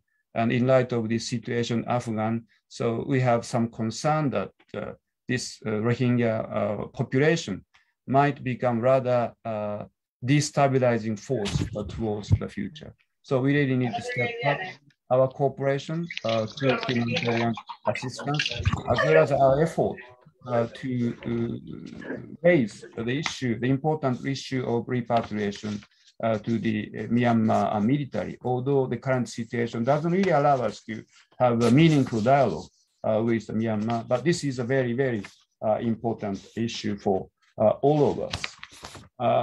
let me end by saying that earlier this year, the University of Tokyo set up an office in Dhaka, supported by Japanese Education Ministry, MEXT, uh, the, office also represents the interest of other Japanese universities in offering places for students and exchanging faculties and students. Uh, I know Professor Tanaka, as the executive vice president of the University of Tokyo, worked very hard for academic exchanges between Japan and India through establishing the university's regional office in uh, New Delhi about 10 years ago, or more than 10 years ago, maybe. So I hope today's lecture will be a stepping stone for developing our partnership in higher education with the strong involvement of North-South University. I would like to reiterate my sincere gratitude to North-South University for, for hosting today's event. Uh, let us continue our collaboration and dialogue uh, towards the future. Thank you uh, very much for wonderful opportunity. Thank you so much. Thank you. Thank you. Thank you very much, uh, he, uh, Your Excellency uh, uh, uh Naoki Ito. And uh, we are really grateful for, you know, co-hosting these timely events. And as you said, actually dialogues, knowledge sharing, and academic exchanges between Bangladesh and Japan are really vital for further uh, promoting the comprehensive uh, partnership uh, we have uh, already established. So before I uh, request uh, the chair of the session, Professor Atikul Islam, I would like to request Ambassador Shahidul Haque just kindly say a few words on the total program and discussion. thank you very much, um, uh, Professor and President Tanaka for uh, your presentation and also for generating so much of a comment and discussion and thoughts. Um, so, so uh, you know, often we say that what is my takeaway from from these two hours of uh, uh, of my time. So I, I have a couple of takeaway. I will quickly go through it, and I, I'm sure that these takeaways could be others as well. That Bay of Bengal has again emerged as an important geopolitical and geo-economical mm -hmm. entity. So that, that's the reality that we need to look at from the foreign policy side. But it continues to remain fluid and uncertain you know, because, because of reasons. Uh, big power rivalry is one of those reasons which making us little uncomfortable and adding risks uh, to the potential that we all can rip out of it. Aspiring powers always uh, um, creates uh, difficulties for non-aspiring powers. So that's, that's, the, uh, that's the hypothesis. Second is that cooperation and not confrontation should be the preferred pathways uh, for a smaller nation, including for Bangladesh. And that's what our prime minister has always been uh, promoting. Uh, there are new alliances, both uh, in terms of geopolitics and geoeconomics emerging. Bangladesh, as I read from outside, looking at all possibilities and would only uh, prioritize in terms of its own realities and, and challenges. So that's, uh, that came out very strongly with Professor Mustafiz uh, and with, uh, uh, with, uh, with Secretary Khurshid. Japan is a reliable and time-tested friend that Professor Ambassador Ito has rightly pointed out, how our father of the nation, Bangabandhu, attached huge importance in back in 1973. It's very clear. Uh, so here we have a reliable partner and, and there's no irritation in the relationship. And that's very important. You know, when we were talking about uh, uh, this uh, Matarbari project, uh, uh, we had a very open discussions and initially Bangladesh had wanted to know little more into the uh, future of the Matarbari. And that didn't create an irritation that enhance the trust and understanding. And I, am sure that one day someone will write about that, uh, that period. Um, it's time for, uh, for Bangladesh to revisit some of the assumptions because some of the assumptions are no longer uh, relevant uh, and uh, a new strategy needs to be looked at. And as uh, Professor uh, has rightly pointed out, and I'm sure that Vice Chancellor will, will bring it back, the uh, uh, the um, university is expanding its SIPG into an Asia Study Center, where there will be area studies included. so, so we will look forward to anchor some of the discussions that we held today. But thank you, um, Ambassador Ito, and in particular, Professor uh, and President Tanaka, uh, for your very insightful uh, presentation on the future of Bay and Bangladesh. Thank you. Thank you very much, uh, Mr. Shahidul Haque. Uh, now I would like to request uh, the chair of the session, uh, Professor Atikul Islam, the Honorable Vice Chancellor of North-South University, to provide uh, his uh, valuable remarks. Sir, floor is yours. Ambassador Naoki Ito, ambassador of Sri Lanka. I suppose um, I didn't get his full name, Ambassador Susan of Sri Lanka. Our keynote speaker, Akihiko uh, Tanaka, Professor Akihiko Tanaka, I must say, Ambassador Shahidul Haque. I understand our ambassador, Bangladesh ambassador uh, in Australia, uh, also has joined us, uh, Professor Mustafa Rahman other contributors and participants. Um, look, uh, this SIPG has a tendency to put me in deep water every time, uh, asking me to talk on issues about which I know nearly nothing. Um, okay. Uh, good afternoon, everyone, and welcome to North-South University it is, I think we are the only university, or, or probably is the um, uh, most active university in the areas of international developments to have uh, seminars, workshops, and webinars from time to time. Uh, and a lot of credit goes to Professor Sheikh Tawfiq and his SIPG and the support that he gets from Professor Shahidul Haque and others. Um, and this one is no exception. Uh, let me put my, uh, you know, uh, two words from what they're worth. As I understand, the Bay of Bengal touches Bangladesh, India, Sri Lanka, Myanmar, uh, and northern parts of Malaysia. It forms the northeastern part of the Indian Ocean. Its area is 2,172,000 um, square kilometers. The average depth uh, in the bay is about 8,500 square feet. Uh, I think at the deepest point, it goes to about 15,000. Uh, it's a very resourceful place uh, with uh, gas, petroleum, fish, and other valuable marine resources. Bangladesh has been very successful in negotiating our sovereignty over the area of Bengal that should come to us. And I must congratulate the, our diplomatic team and our naval team, uh, uh, Admiral here, uh, for success there. But Bangladesh has not been that successful in developing and exploiting uh, those resources in the Bay of Bengal. Um, there's also, again, in, in the development and managing and exploiting of those resources, we will need the technology uh, from our friends such as Japan and other countries. And this is very timely uh, that Professor Tanaka has given us some ideas as to the directions that we could take.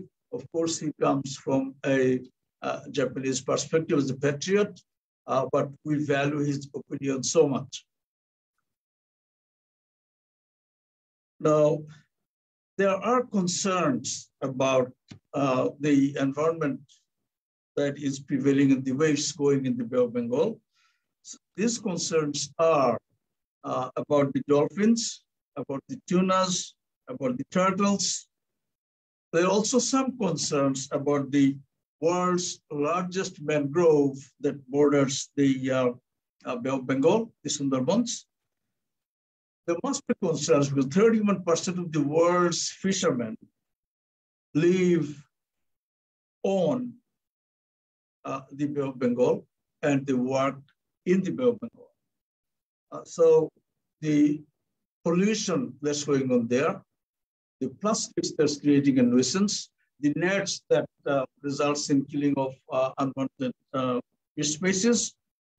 All those problems are present there, and we must be careful about uh, those also. Uh, overfishing is another problem. Although we have a huge area, I don't think we can even fish enough. There must be planned fishing, not whoever can pirate whatever from there, because Bangladesh has a weak navy uh, and some other countries have very sly uh, fishing boats. So we must be careful about uh, those aspects. Also, politically, there are some difficulties. India tends to consider it as if it's their backwaters, uh, it's their pond uh, behind the house, sort of thing almost. And then you have the uh, problem of China becoming increasingly assertive and interested. Uh, what is also uh, almost likely is that the, the politics of South China Sea uh, might get linked with the politics of Bengal. In that case, you will have the oversensitive Chinese uh, sort of uh, diplomats and uh, politicians trying to, I don't know what policy they will take. Uh, for example, you know, uh, you know, yeah, they will basically say, should anyone join the Quad or should stay put where we are, bilateral, individual negotiations where, uh, where they are uh, very um, proficient in putting pressure on you. Uh, for example, uh, the new tariff on the Australian products such as beef and other things, wine, etc., uh, because of Australia joining uh, the, the, the, the chorus for investigating the source, the original source of COVID-19, or maybe even the Quad, I don't know. So there are some issues. We need friendship with all. We need India. We need China. We need Japan. We need the United States. So that will provide our diplomats like and ex-diplomats like Shahidul uh, with a very high um, tightrope to walk on. And I'm sure they have been balancing for the 50 years. So they're good at the act and they will manage it somehow. Um, I am not an expert in the area, so I won't venture any more comments. Let me finish by thanking Ambassador Naoki Ito for giving so much of time. It's so generous of him. And I would like to thank once again our keynote uh, speaker, uh, Akihiko, Professor Akihiko Tanaka. It was fabulous. And uh, let me thank also SIPG and all the participants once again. And we will see you in various forums of North-South from time to time. Um, that's it from me. Thank you all once again. Thanks. Thank you very much, sir, uh, for your uh, very fascinating uh, uh speech. And uh, I would like to thank uh, Ambassador Ito, Professor Tanaka, all the Japanese staffs who help us to organize this event, and the dignitaries and all the participants. Still, I see the huge number of participants are, you know, still there. So um, uh, I apologize. Uh, I apologize uh, for not getting all the questions uh, raised because of the time constraint. Uh, so thank you very much for all of your uh, participation. Thank you. Thank you very much. どうもありがとうございました。Thank you ah, very much. Thank you. Thank you. Lovely. Thank you. Yeah.